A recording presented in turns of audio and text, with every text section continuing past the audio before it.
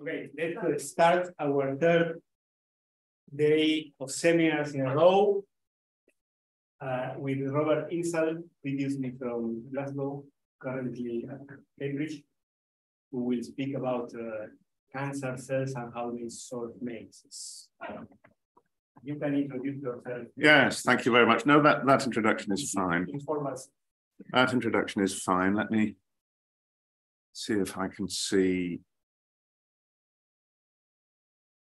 I can't see anything that's going on online, so uh, people will have to shout. I have got have got the sound.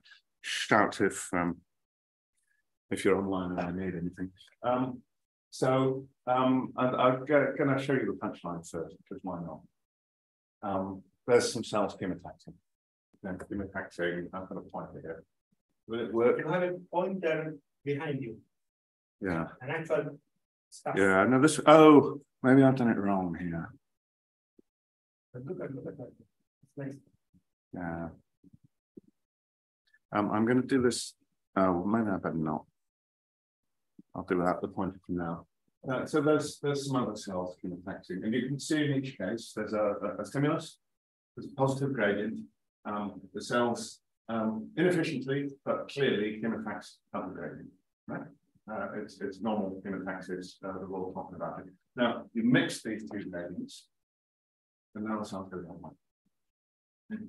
Um, and this is smashing because you see, I'm a I'm a um, uh, a wet biologist um, who's been hanging with mathematicians for about 15 years.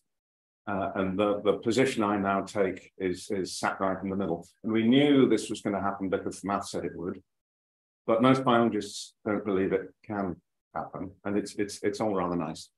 Okay, so thanks to the people first. Um, some of you here, welcome. Uh, many of you here probably know John Mackenzie uh, from Strathclyde, who uh, has always helped me with all the uh, uh, mathematical parts. Luke is a physicist and Adam is uh, a math uh, PhD student from my group. Michele is the engineer who did all the um, uh, devices and Andy was a dermatologist who came and did all the cancer cell work. And lots of other people helped. Okay. Um, uh, and of course, the reason we study it, the reason I get paid to study it, is that cancer is lethal, lethal when it spreads. Um, and the other thing that perhaps you've uh, all know instinctually, but most biologists don't because we look down microscopes so much. Oh dear. Sorry.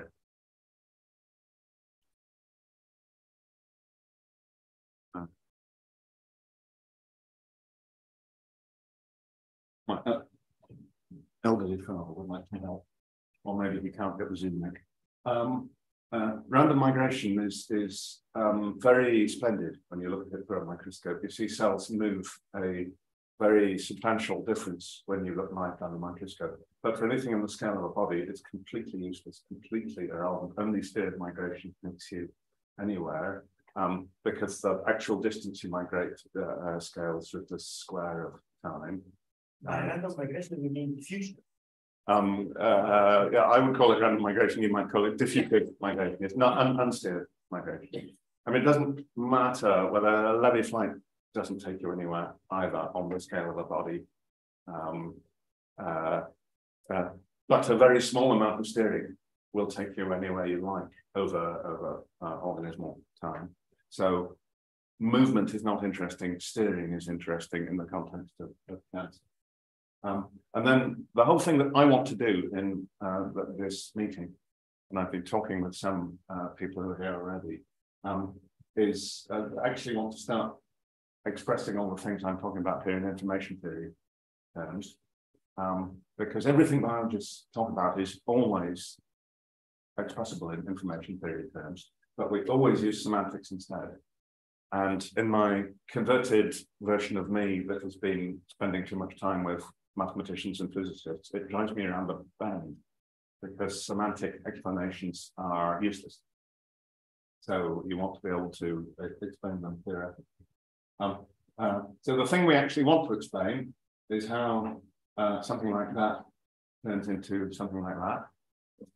Uh, is it? Yes. Do you know whose, whose child that is? I'm far too good to show someone's child on there. It's a, it's an AI generated, again, again generated child. Uh, um, so during this process of going from the, the egg is real, um, going from the egg to the, the, the, you need lots of increase in complexity, obviously. You need lots of information on information, obviously lots of increase. Uh, the thing that is maybe less obvious, although now I've said it, it will perhaps be obvious, is you need lots of chemotaxis because as the egg forms, all you get is fairly uh, uh, symmetrical layers, sheets of cells, and what you need is cells to move around. Um, germ cells uh, uh, move from the guts to the to the gonad. Um, neural crest moves all around. Um, uh, chemotaxis is most important. Um, the one thing you will not ever see any of us saying is the cells chemotax along a pre-existing gradient, because imagining that there are pre-existing gradients in that is stupid. So the cells don't make the gradient. one thing I don't understand is what is chemotaxis? Okay, I'm sorry. Um, that's I'm I'm very glad you asked. Chemotaxis is um, one of a family of ways of steering cells. Um, it's chemotaxis if they're being steered by a gradient of something diffusible. Um, and if they're being steered by electricity, it's galvanotaxis and um, et cetera, et cetera, et cetera. So uh, thank you for asking that. Yeah. So there's um, Bob May, redoubtable both mathematician and, and um, biologist, um, saying if your animal doesn't organize itself, then who the, is going to organize it for you? Right? Uh, we have to find out where the information comes from, and the information is going to be created by emergent interactions within the embryo itself, or they're not going to. Uh... There you are. So I did define it. Just one slide too late for you. Sorry. This is the slide from 1952, I think, showing chemotaxis. This is a neutrophil chasing a bacterium. Um, it is almost beyond belief that it was possible to take this movie in 1950 something. Um, each of these images, each frame is a black and white picture or black and white film. Um, and it's still the best, the most uh, uh, uh, emotionally involving image of chemotaxis. You see that's a, a, a human neutrophil, it's human blood, those are the red blood cells. That's a bacterium, which is surely going to kill a human if it's not hunted down and killed. Um, and um, you can almost hear the bacterium squeaking as the neutrophil chases and, and, and kills it. Marvelous. Um, uh, more uh, uh, relevantly to all of this, if you have a melanoma, um, you are at very great risk. Doctors do not see patients with big melanomas. Uh, with a breast tumor, you can have tumors the size of a grapefruit, especially in places where, where uh, cancer care is not good. There are no melanomas the size of a grapefruit because the patient was young. If you have a melanoma, it will spread. There's really very little debate about it. It gets to a certain size and then it spreads. And they spread by chemotaxis. You can see that they spread by chemotaxis because if these guys were moving randomly, diffusing, etc., they would be calcium, but they're not calcium. They're in fact sometimes overtly ring shaped. Um, so they are spreading because they are uh, uh, migrating in in something uh, towards something. And here's a lovely uh, uh, demonstration of it. These are chambers that I designed and have made. Um, you've got a well with low chemoattractant there, and you've got a well with high chemoattractant here, and you've got a bridge between them. It's a development of a Zigmond chamber for anyone who's used them or a Dunn chamber, if you prefer. And um, what the cells do is really stunning. I mean, they're amazingly good at moving from the low uh, attractants to the high attractants. Just serum in this case. It's just uh, uh, what happens if you take blood and let it clot. Um, you see a couple of things here that are interesting. You see that it's not um, uh, uh, homogeneous, that they're, they're moving in a wave. They're very, very fast. So you want actually to be really quite scared looking at this because this distance from here to here is about the distance from the center of a tumor to a, a, a the um, endothelial, the endothelium. So what you are seeing here will kill you if you have a melanoma. This is the cells moving from the melanoma into your bloodstream. When I had this picture taken in my lab. I went straight to the doctor and said, I've got these black spots. Could you please? Um, okay, so the question we want to ask is where did the information come from? Rephrase it. Um, why does your body make a gradient in order for the melanoma to kill you? Course, your body doesn't make gradient for the melanoma to kill you. The melanoma makes the gradient for the melanoma to kill you.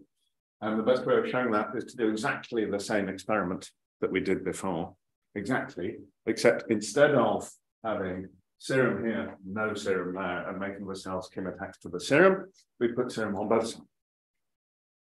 And what happens, it's exactly the same as if you did a normal chemotaxis experiment, thereby proving A, um, uh, uh, uh never do controls, uh, to any biologists who are here. B, if you think about things, we, we understood this as soon as it was happened because we had been thinking about these sorts of things and thinking mathematically. What is really happening when melanoma cells chemotax to serum is that the melanoma cells are breaking down the attractant in the serum and are fabricating their own gradient locally. The gradient is formed by an interaction between the cells breaking down the attractant, the cells migrating, um, and the attractants diffusing through the liquid across that. And you have a gradient from there to there, from saturating chemoattractant to zero chemoattractant, uh, which is uh, uh, remarkable. And that's why they chemotax so well. And in the slide I showed you before, although we fed them a gradient, they're not reading the gradient. They're taking the gradient we fed them and breaking down lots of the contents of it and making a different gradient. And you can measure them not making any of the attractant, which in this case is LPA, but it doesn't matter. And then if you have a low density of cells, they break down the LPA if you feed them serum. And if you have a high density of cells, they break it down faster. So you're reasonably happy that the cells are doing what we think they are. Uh, and we call this self-generated gradients. And actually, the funny thing is, um, I realize this more and more every year people totally knew about self-generated gradients for decades, but for want of a name and for want of sticking an equation on it, they just brushed it under the carpet. Um, and the only thing that's changed is that we noticed that all the experiments we were doing were in fact responding to gradients that the cells were making out of what we fed them. Um, and so it changed our, our way of seeing things. So nearly every chemotactic gradient you ever see a cell moving to is always shaped by the cell itself. It's really cool. Um, and remember that the question is always going to be where the information.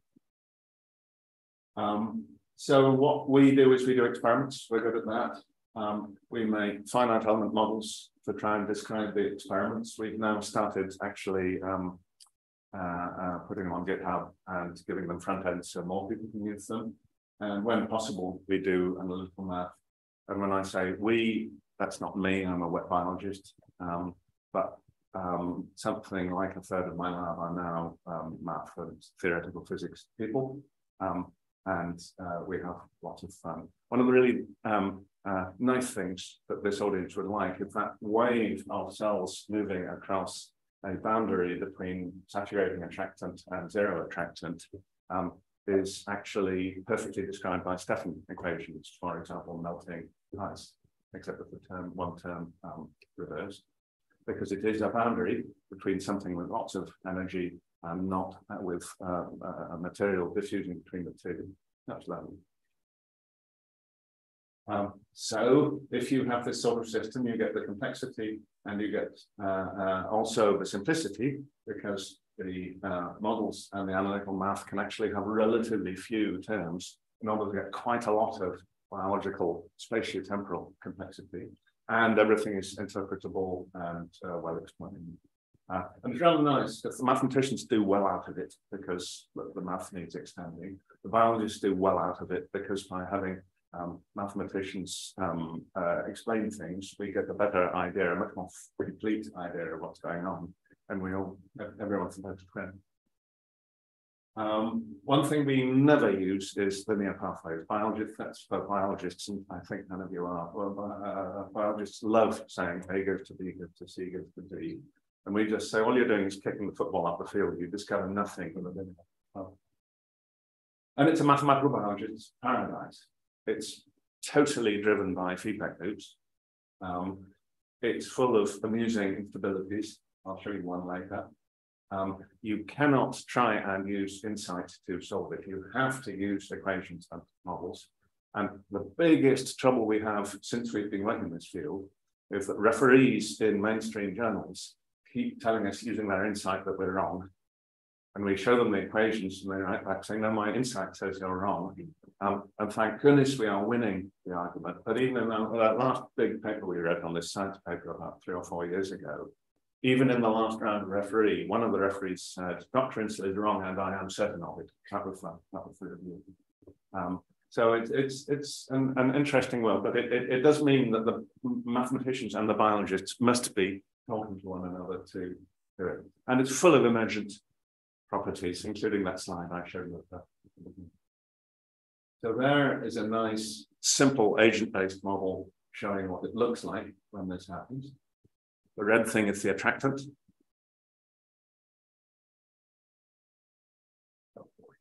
Yeah, it's not on my screen. Let's see if it goes. Yeah, okay. Um, Go back and forward. Yeah, no, I no, right, it went. it's an emergent property.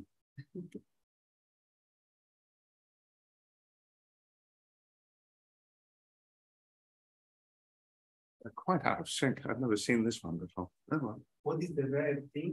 the red is the diffusible attractant. So the cells are breaking down ah. the attractants with an enzyme. So they the That's right. The attractant diffuses with a, a, a, biologically measured diffusion coefficient from where it is. It's stopped again. It's not stopped here. Uh, um, Sorry, is that the cells release some? The cells have in this model, the cells have an enzyme on their surface that breaks down the attractant. Um, we have simulated what happens if the cells actually release an enzyme. And the answer is it looks pretty much the same. It's just a little bit um, earlier. That was um, uh, a good and helpful referee. We had a very nice time. Um, uh, so uh, you have um, a bunch of things that vary a lot depending on which cells we look at. So we tend to look at cells that move quite rapidly. Melanoma cells move very rapidly. That's part of why so, uh, uh, we like amoebas, we like uh, neutrophils. If you looked at fibroblasts, um, it, would, it would be a completely different world. Same uh, system of equations, but it looks, it looks different. Um, so one of the things interesting here is we use masses of attractants. So um, uh, what the red is showing is an absolutely saturating attractant. Uh, and the cells could not possibly read a gradient like that, because if you're a cell sat in it, you're saturated on upstream and you're saturated downstream, there's no the attractant by dx, you've, you've, you've got nothing to read. And then you go look through the literature and you find out that about 60% of all the published literature uses gradients that should not be possible to be read because they put too much stuff in and about 40% doesn't. So it seems that uh, it starts out as more curved. Yeah, yes, that's right. Yes, yeah. yes. That's interesting. But, um, so all of the migration that is happening in this simulation, I mean, if uh, I don't think I had time to show a real one, but the real looks exactly the same as the mm, simulation. Yeah. Um, all of the migration is being driven by chemotaxis. But in this one, we haven't pinned the concentration of attractant at the end we've got a fixed amount in. So the wave needs fewer and fewer and fewer cells as it comes across. So constantly, you can actually just about see it happening. The cell at the back sees no signal. Yeah, yeah. No, but, but, but I, I, also meant that. Uh, yeah, yeah, no, it, that, that, that, that process of dropping off cells. it's the, the wave kind of starts. It, it seems as if it was curvatures. Oh, okay, I see. Yeah. yeah. Uh, that's interesting. Yeah, maybe. I think it's probably um, an accident. It's it's very very robust, so it tends to self-correct. I will show an example that is self uh, that is unstable, um, and doesn't correct. I'll show a version that's unstable, and so you get a fingering instability out of it. So all the information is coming from the cell.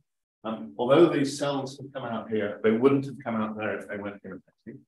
So during the simulation, by the time you see them, these cells are not chemotaxing, they're moving randomly. Yeah. But the reason they're not there is chemotaxis.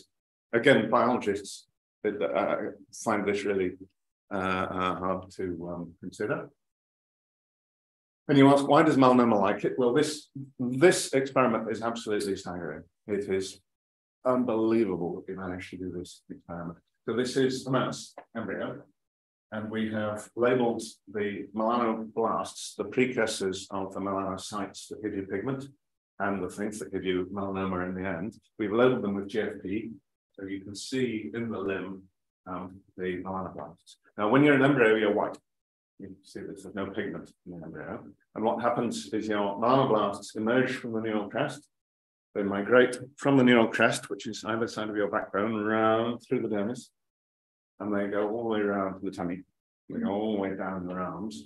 And if you have uh, inefficient migration, you end up with a white spot on your tummy, white spot in the middle of your forehead, and white hands. And actually, there are people walking around who have that.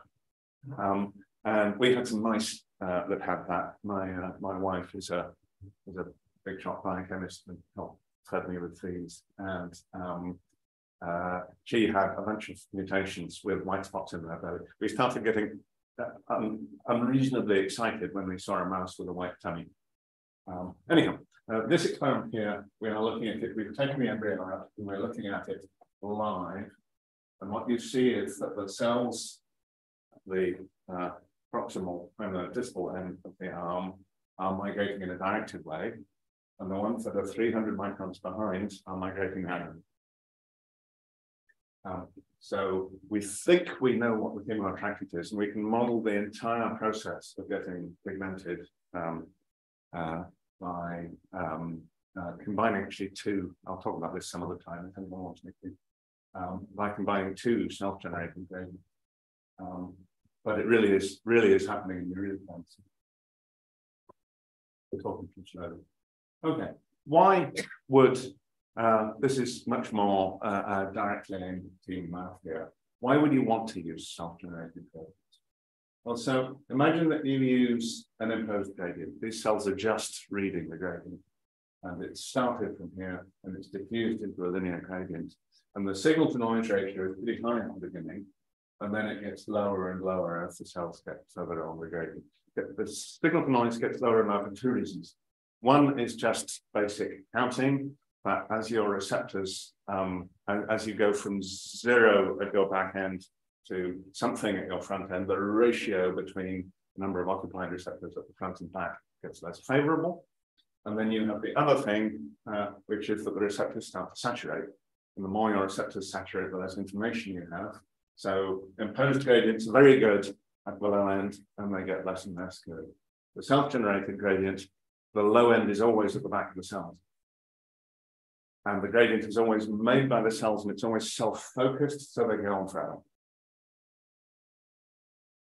Um, what that means is that if you are uh, giving cells a gradient and they're just reading it, it turns out that there's a totally physically limited distance that cells can read.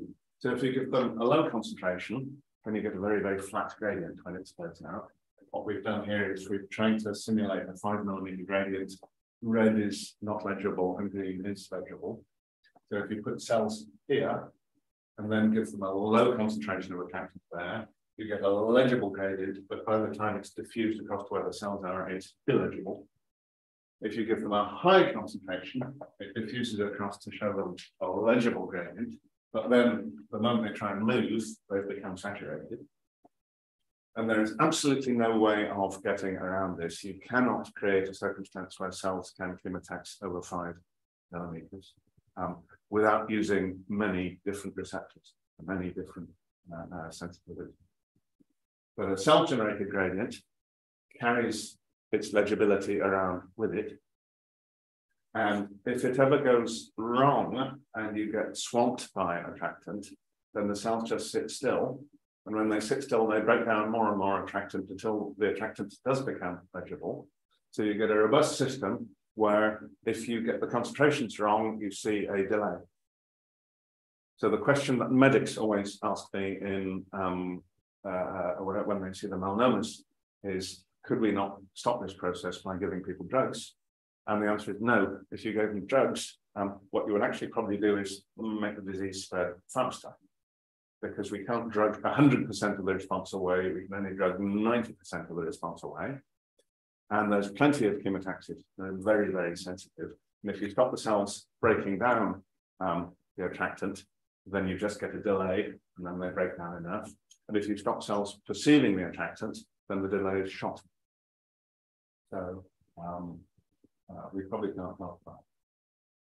So what this all means is that if you ever see a gradient that's operating above one millimeter absolutely peak with a very diffusible um, attractant, probably much less than that, then the cells must be generating some of the information in the data.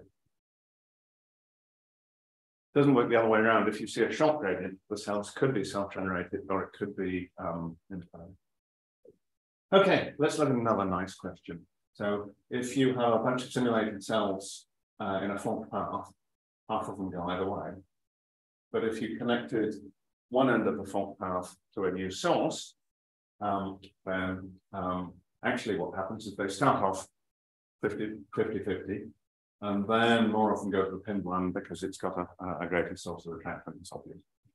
Right. If you make the unpinned branch shorter, then you start seeing something interesting happen.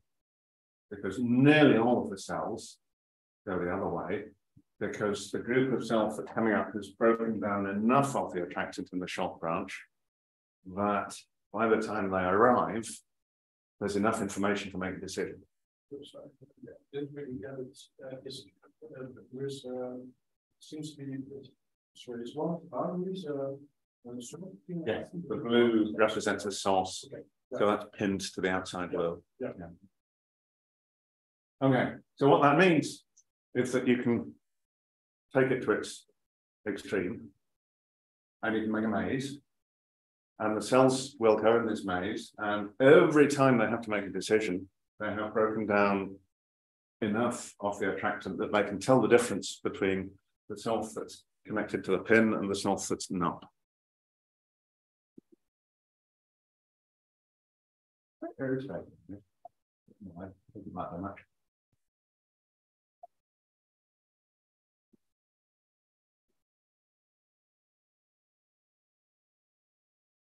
We may have a full crash. Yeah.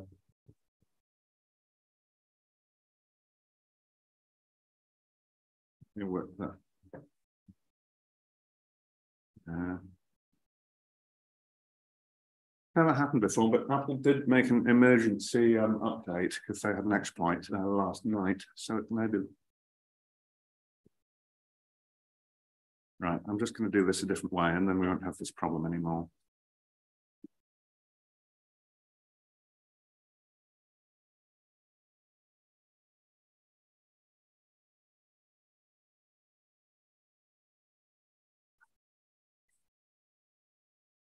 Sorry about this, people. Uh, Zoom. Screen. Oh.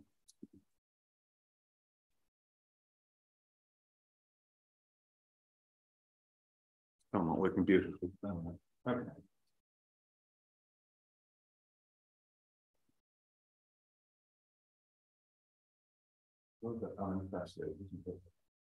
Never mind.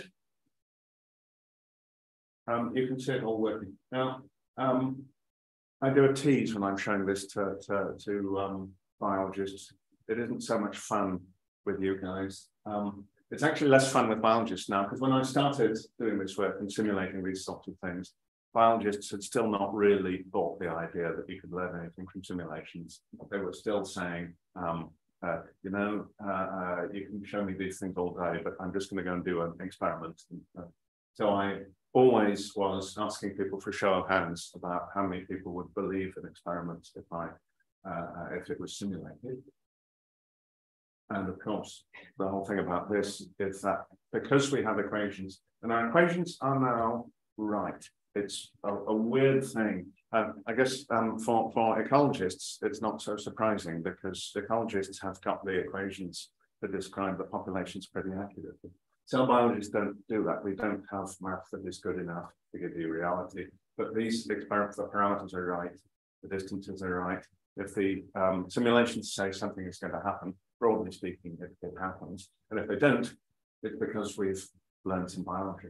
So one of the things you can see here is there is one difference between this and the uh, model, which is that instead of just having a wave, there's cells behind coming through. And the model predicted that would not happen. And it turns out that the drug we've given these cells, these Dictyostelium cells in this case, and the drug that we gave them to stop them talking to one another works in the bulk, but in the tiny volumes you get in microfluidics, it doesn't work. Um, it's mostly working, um, but they're still able to talk to one another. Some, and if we go and knock out the genes that let them talk to one another, then it fits the model perfectly.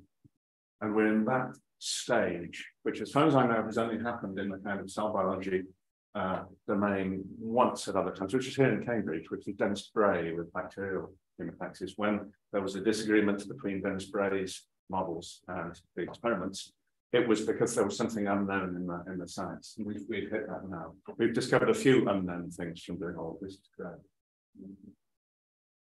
So this is uh, cute, but it's also really, really, really important. That's what is happening when cells spread. And we think it's happening on lots of different cancers.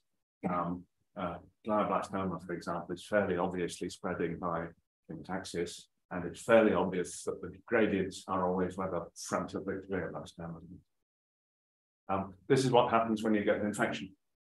The immune cells are, are homing because of that. In embryonic development, um, I flagged germ cells because I know some of you know about them. The germ cells are made in the guts. During early embryogenesis, they migrate from the guts through the middle of the body to the gonads. If you don't do that, then you don't have any babies, no germ cells. Uh, um, and um, the uh, uh, middle of an embryo is just like those mazes I showed you. And the problem is just the same. You have a limited amount of information and you have to find the best way to get that. And nerves finding one another in brain development and so on and so on and so forth. Whenever we have a biological question to do with moving cells, it, it, it's, uh, and it's universal. There are some macrophages. This macrophages migrating to the no chemoattractant and chemoattractant everywhere. So this is incredible. There's no positional information in the gradient here except what the macrophages themselves have made. They're so directed.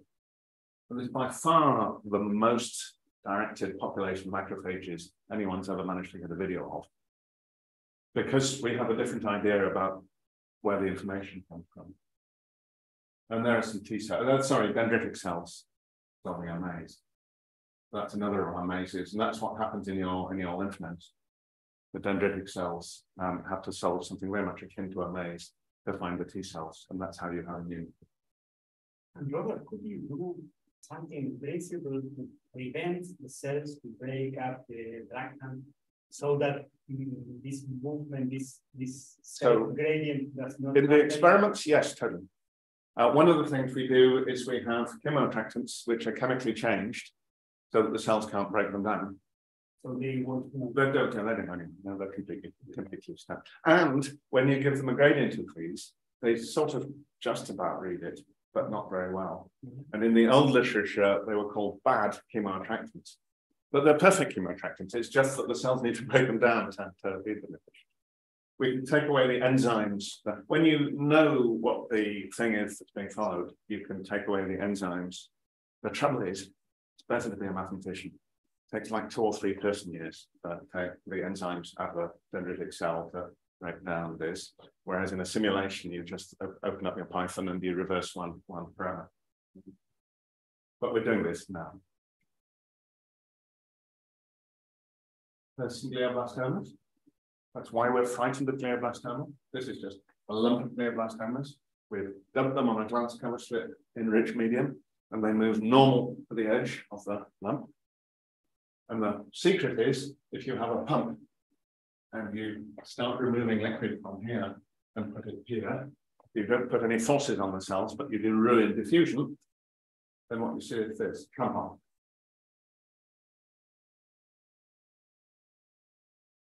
So the glioblastoma cells are migrating because of a diffusion limited attractive chemical. And when that's taken away, they prefer to stick to one another. So the, the steering signal dominates. And then if you haven't got the steering signal, you get an adhesion. So, E. coli visit. Julius Adler, some of you may have come upon him. A wonderful painting. You see this? I'm pleased to say I was born. Nearly everyone who I interact with and supervise wasn't. I was um, nine months old, and, and I gave this uh, uh, in a talk a while ago, and someone in the audience said, "You know, Julius Adler is still uh, working in Madison, Wisconsin." I don't know if he's still working there now. He's still alive, but um, this was just before lockdown. He still had a lab, and he still had postdocs and so forth. But he showed that if you have agar, which only has one sugar in it, and stop bacteria in the middle, you go in a ring. Inside that ring, there is zero galactose, and outside that ring is saturating galactose, and it's a, it's a phase field. And if you do it on normal rich agar, you get three rings. And he showed that the outer ring is serine, so it's more serine than zero serine. And then when they've moved all of that, you get a, less desirable uh, sugar, which is actually it's amino acid aspartate, when you get three in the inside too. Uh, and so he knew all of this in 1966, but just uh, said some words and, and carried on. So the best attractant gradients come from the self themselves. But remember, and you guys shouldn't have any problems with this, biologists always if you don't remind every every five minutes, uh, we, we, we forget that it's the gradients, it's the D attractant by dx, not the attractant itself. You can't read uh, an attractant, you can only read a gradient of the attractant. And it turns out that this is, I mean, it's more and more general. It's amazing. This, do anyone recognize that maze? It's, it's King Henry VIII maze in, in Hampton Court. People pay a lot of money to spend their whole afternoon getting lost. and the cells have no trouble at all.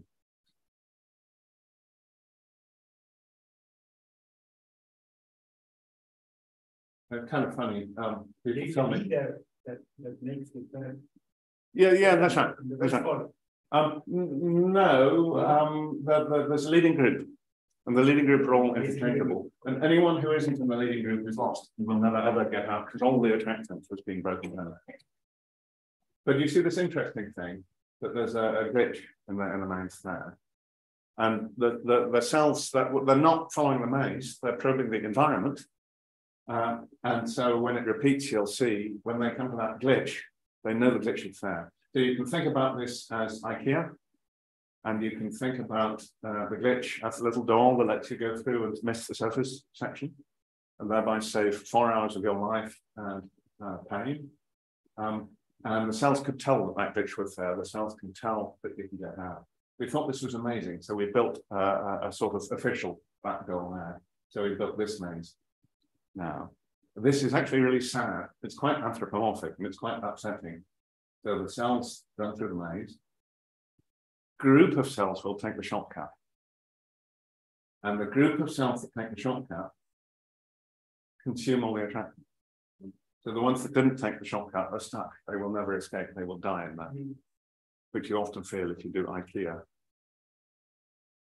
And really, you see that it's run out. They can they can move a bit randomly, but as I say, random migration is no use. You can't get anywhere by random migration over the sort of scale of anything happening. And the diffusivity of the attractant suddenly makes a huge difference. So you have different domains. In the domain mark two, you quite often see in some of our mazes cells going the wrong way. And I'll explain that in a moment. If the attractant is very, very diffusible, then it can always be read perfectly. Uh, if the attractant is very, very non-diffusible, then you can't drain one half of the diffusion. So everything is always a 50-50 chance. But if you take an easy and a hard maze, um, I'm going to look at the faces of you and see if any of you can tell which is the easy and the uh, well, again, we had the models. So we played with the models until we could get it. I'll tell you, the one on the uh, on, on, the left you know, is, is easy. Well, that's easy because every time you have a decision, it's a decision between a long branch and a short branch, and you can easily drain the short branch before. In, in the one on the right, although people would find this one much easier, cells find it much harder because each branch, and there's a particularly fiendish thing here, which is that this decision, the distance to the next um, complex place is short, so the flux is faster here. And in this one, it's a longer distance between the decision point there and the, the, the major cells. Where are the exits? Uh, somewhere at the top, nobody gets out. We only kill them afterwards. Is there any uh limitation between the cells? Um, there is communication By- by breaking down attractant because the attractant is diffusible. There's no other communication, but it turns out that breaking down attractant is a really good way of cells. Uh, you can do exactly the same by producing an attractant. There's no sort of uh, theoretical difference. So there's that cells. You see in the- this one, every time I come to one of these decisions, half of them go the wrong way. But those ones are basically perfect. Half go the wrong way, in fact, slightly more there. And that's what reality does. This, yes, is cyclic entropy. But I showed you the dendritic cells uh, responding to CCL nineteen Oh, earlier. Um, and it's, it's deliciously general. Yeah. Um,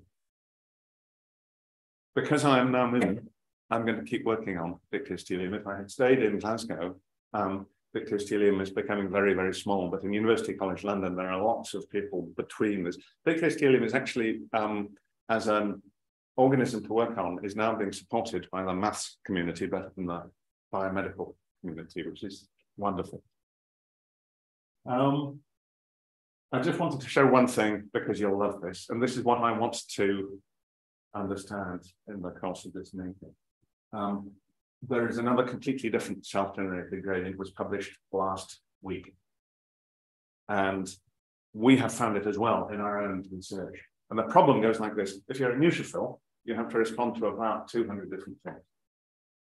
And you can't respond to 200 different things in the way that we understand you do, because every time you respond to something, you must have 10,000 receptors on your surface. If you don't have 10,000 receptors, you can't possibly tell the difference between a partial occupancy at the front and a partial occupancy at the rear. You just don't have enough information. And if you have 200 attractants, that means you need 10,000 receptors for 200 different things, and it's going to be awful and expensive. And also, you have this terrible trouble with signal to noise, because all of those receptors have Poisson shot noise, and all of those receptors may become activated accidentally. And each time that happens, it spoils your measurements. So we've wondered about this for ages and ages and ages. And then how do you integrate them all? So this paper comes out, um, I have this place. Yes, this paper comes out um, last week saying that they work the same way as the Keller Segel Goldberg process going on here. So what they are doing here is they're looking, the color shows whether the cells are signaling or not.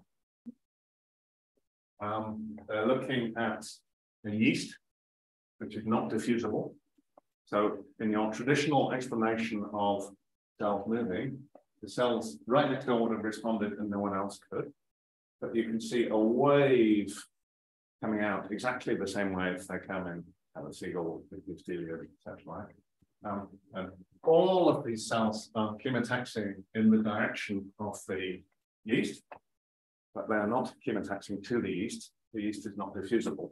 They're to an attractant they have released themselves in response to the yeast, or they're to the attractant that's re released in response to the chemoattractant.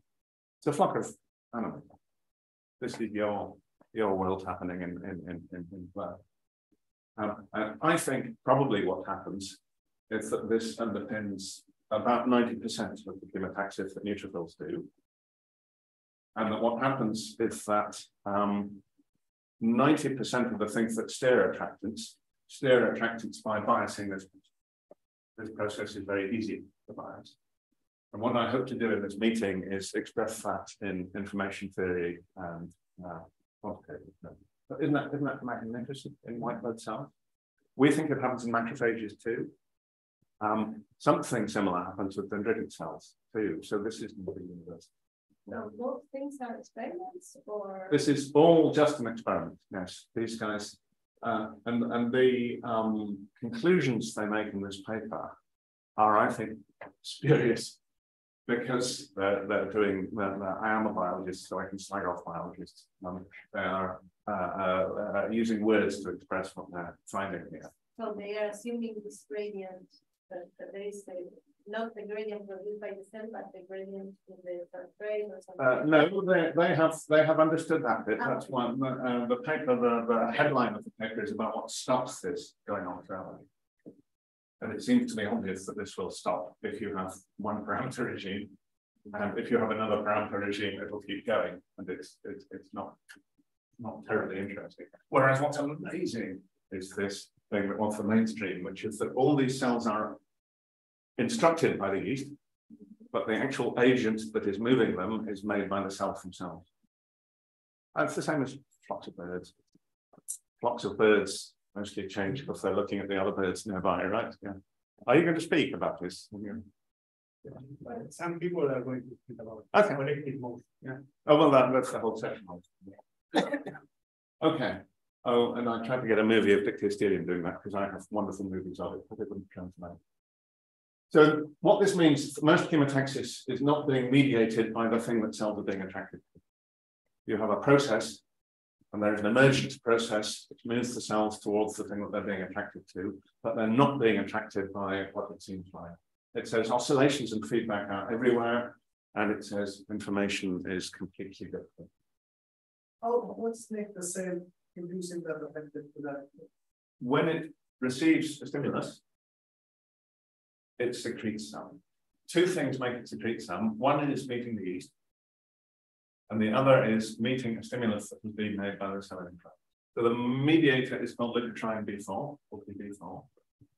And the stimulus that's coming off the yeast and the leukotriene B4 converge onto the same G protein very, very early on in the signaling pathway. So the cell can't really tell the difference between the yeast and the secreted signal that all amounts to the same thing, the cell. Um, but the LTB4 is diffusible and short-lived and um, and and something related. Um, go on. I have a question. Um, so, in the model, the self-generated gradient model, um, if they're traveling narrow uh, channels, then there are only few will find yesterday. That's so, right. So there's most of them are left behind. So how is that problem solved in, in for example, neural crest migration? Because also there you expect that a lot of cells will be left behind. Yes. Yes. But in a sense, I've um, I've answered this with what I just showed before, and actually in the maze before, which is you only need one cell to get to the front if the cell at the front is making a secondary signal that attracts other ones. Okay, that, that and this is this happening in the neural crest? Well, in neural crest, I don't know. Um, in dendritic cells, for example, that's what's happening. And we only know it at a mathematical and phenomenological level. I have someone working right now about what the what the what the molecules might be that the dendritic cells are using. Uh, um, so the same bit of analytical math that came up with the Stefan equation comes up with a really interesting result, which is the wave, if, if you have enough cells, then the wave of cells is always exactly enough. And the point is that if you have slightly too few cells, then a attractant escapes through the wave, so you attract more cells. If you have too many cells, then the one at the back receives zero information, so it gets left behind by the wave. Um, so you always get exactly the right number of the cells to deal with the flux of attractant coming in. If they are to oh. then you have you have the same problem. Yeah, then it becomes complicated, and then you have to yeah. consult uh, Keller Segel. Um, and there's, uh, I mean, there's uh, 10 or 20 papers every month on this issue. Um, what you get is you get these lovely waves of traction coming out the cells have to be refractory for some period after they've seen it. And the exact emergent response you see depends on the. that, that would be different, but that's more the relay and like next side of the side of the system. Same thing. right? But I'm, I'm the self-generated gradient system. So in the self-generated, in, in the simpler self-generated gradient, you just have this interface and everyone behind is left behind and they'll never get. But what seems to be happening in most of biology is that if you want cells to be left behind, then that's fine, that's what happens. So in, in your pigment, you do actually get a wave of melanoblasts that's constantly leaving melanoblasts behind. That's why your, your whole body is pigmented. And if you want all the cells to go, um, then you, to make it more robust, you must have a thing where some of the cells are leader cells and the leader cells have a secondary attractant and um, and it turns into just um, turns into the sort of thing that we're very good at in biology, which is that the, the, the principle gets sorted out early on, and then the parameters can get tweaked in, in evolution. Um, and what you find, for example, in nerve pathfinding, um, is that cells that don't manage to connect just die. They go into apoptosis and they commit suicide. Um, but a self-generated gradient results in lots less apoptosis than you would have to have if they just moved, uh, you know, up, up and imposed. Yeah. Terrible thing about all this is I've gone on about the interesting self-generated things and I haven't answered my ending thing. So I will show you one slide at the end. So imagine that a cell is responding to two different things, two different agonists through the same receptor. So there are cells responding to an inefficient agonist. And this graph is showing the proportion of its receptors that get occupied, but it's an inefficient agonist. So if the receptor is occupied, there's a 20% chance it will get activated. So the gradient of activated receptors looks like that. This is fine. It's a chemoattractant. So that as the gradient goes up this way, the gradient of occupied receptors goes up this way, so the cells cannot begin. If you have a good attractant, then every time it binds to one of its receptors, the receptor will become active and the signal will get through. So a gradient that looks like this results in a gradient of so again, with the gradient of a strong attractant, um, the cell moves up this way. But if you mix the gradient of the weak and the strong attractants, then the occupancy of the receptors looks like this. The occupancy is still getting higher and higher as you go from left to right. Um, but these are the receptors that are occupied by the strong agonist and these by the inefficient agonist. And then if you look at the fraction of the inefficient, uh, uh, the receptors occupied by the inefficient agonist that are turned on, looks like this. So you have two gradients, both of which would send you this way. Uh, but because they are competing at the level of the receptor, and because they have different efficiencies, uh, the cells go this way. Um, and if time had permitted, I would have talked about this in a far more um, uh, uh, detailed way. Um, but since all the papers have come out about the self-generated gradients, I've told you that. If you're interested in all of this, we published it this year. Um, and uh, I will be very happy in the next week to talk to anyone about it because it's, it's very cool. So this could be a mechanism to slow down the spreading of Yeah, or to uh, ramify it and make it complicated like you need. So if you think about um, uh, your immune cells, um, when your immune cells are responding to anything, um, there are dozens of attractants involved. The, the principal attractants are called chemokines. Um, and typically, if you, you know, if you cut yourself, there's something like 10 different chemokines released, um, all in gradients. And all of the cells are responding to all 10 of them. And probably what's going on here explains why you don't just get all the cells going in and nothing else. You have a complicated process.